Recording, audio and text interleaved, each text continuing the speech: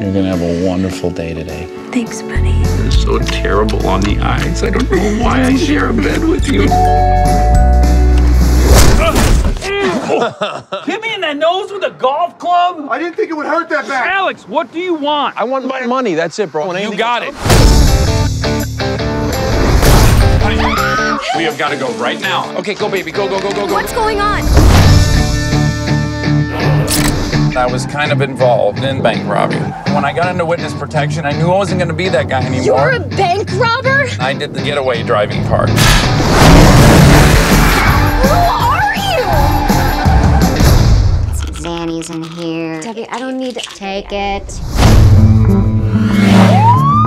I clocked you at 127 miles per hour. I'm a U.S. Marshal, I've got someone in witness protection who needs my protection. Ah!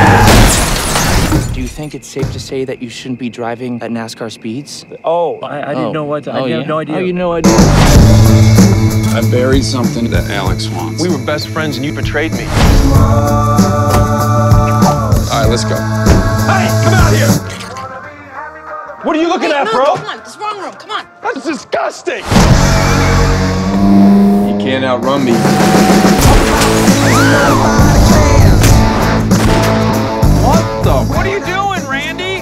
Nothing! I look out my window, you're ghost riding your van and blasting holes and everything?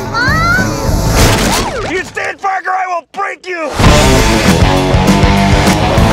This whole thing happened really fast, and I'm sorry. Pull the car over. I think I'm gonna throw up. I can't pull over right now, or Alex is going to shoot both of us. You owe me. What are you talking about? I was in jail for eight months. Oh, you didn't like the gym equipment? I got in prison because of you.